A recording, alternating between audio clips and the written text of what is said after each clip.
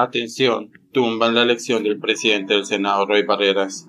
La determinación fue adoptada este jueves por el Consejo de Estado. Se trata de un congresista clave para la bancada de gobierno del presidente Gustavo Petro. En una decisión adoptada este jueves por la sección quinta del Consejo de Estado, fue anulada la elección del senador Roy Barreras del Pacto Histórico como congresista debido a que incurrió en doble militancia. Según el alto tribunal, Barreras incumplió su deber de renunciar a su curul por el partido de la U 12 meses antes de la fecha de inscripciones para las elecciones del Congreso para presentarse por otra colectividad, en este caso el Pacto Histórico. A través de Twitter, Barreras dijo que cayó en combate y si bien aseguró que los fallos de la justicia se respetan, en este caso son injustos. En esa línea, anunció que interpondrá una tutela para tratar de restablecer sus derechos. Seguiré cumpliendo mi deber hasta tanto sea notificado. Interpondré inmediatamente una tutela para restablecer el derecho de mis electores.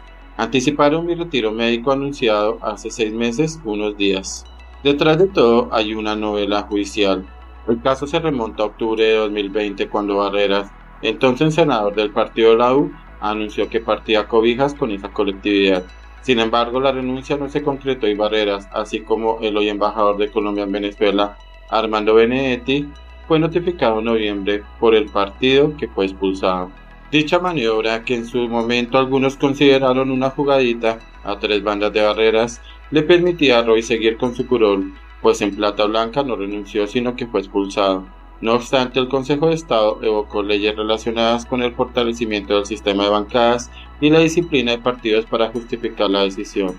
Además, precisó que la expulsión de barreras del partido La U no lo eximía de su deber de renunciar a la curul en el plazo constitucionalmente establecido. Pese a la decisión del Consejo de Estado, Rey Barreras no saldrá de su cargo inmediatamente, según explicó el organismo. La decisión queda firme y toma efecto una vez él sea notificado.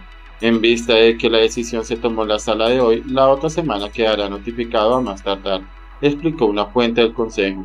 La decisión de la alta corte cuyo ponente fue el magistrado Pedro Pablo Vanegas es de única instancia y, por ende, Roy Barreras no tendrá derecho a ningún recurso. En poco más de ocho meses del gobierno e inclusive durante la propia campaña que llevó a Petro a la presidencia, Barreras se ha convertido en una ficha decisiva.